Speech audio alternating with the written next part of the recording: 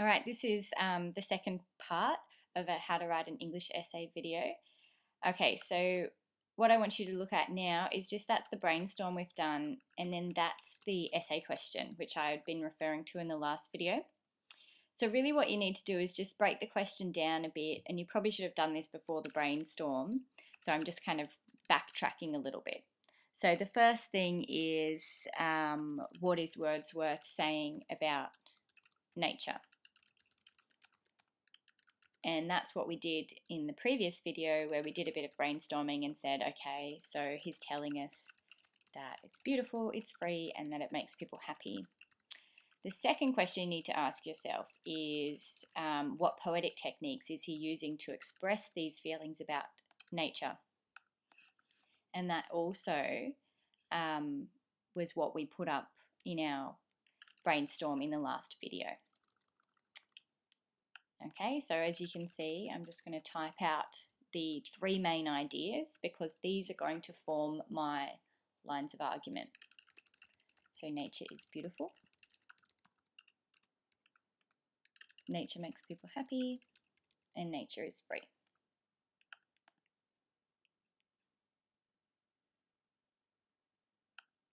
And I'd already identified the different um, techniques that uh, William Wordsworth had been using to express these ideas. And it's really important that in an English essay you do identify those um, poetic techniques or narrative techniques because we're really trying to get to the guts of how the composer makes meaning in the text. So what techniques are they using to make meaning? All right, what I want to show you now is a little trick called nominalization. And this is important to make your um, essay have that much more um, sophisticated academic voice. The essays in English are objective. Okay, so what I've written there is nominalization is basically making a noun phrase out of a verb phrase.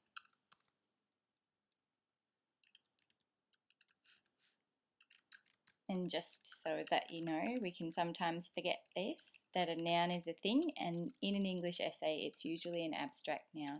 So it's a concept. It's like love, belonging, freedom, acceptance, and the examples I've put of love and despair there. And a verb, you probably all know this, is a doing word. So it's an action. Okay, so if you look at the um, example up here, nature is beautiful, what I'm doing is I'm just highlighting the word beautiful and I'm showing you that this isn't a noun, it's actually an adjective. So nominalization, you can actually change adjectives or verbs into noun, nouns. So beauty is the noun form of beautiful. So we're going to rewrite the sentence as, or the phrase as the beauty of nature, instead of saying nature is beautiful.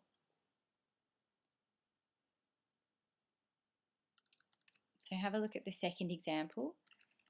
The main idea of that sentence is um, happy, that nature makes people happy. So happy is an adjective and we change it to the noun, which is happiness. And the phrase becomes the happiness that nature brings.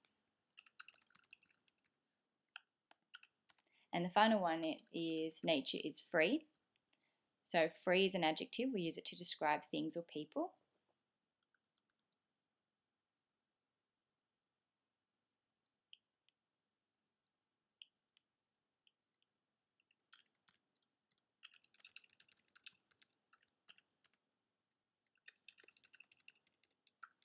Okay, and so the noun form of free is freedom. So we've got the freedom of nature. So they are going to become the beginnings of my um, lines of argument. See how they're phrases, they're not complete sentences. The beauty of nature, that's not a complete sentence. So we have to work on that and build it into a full sentence.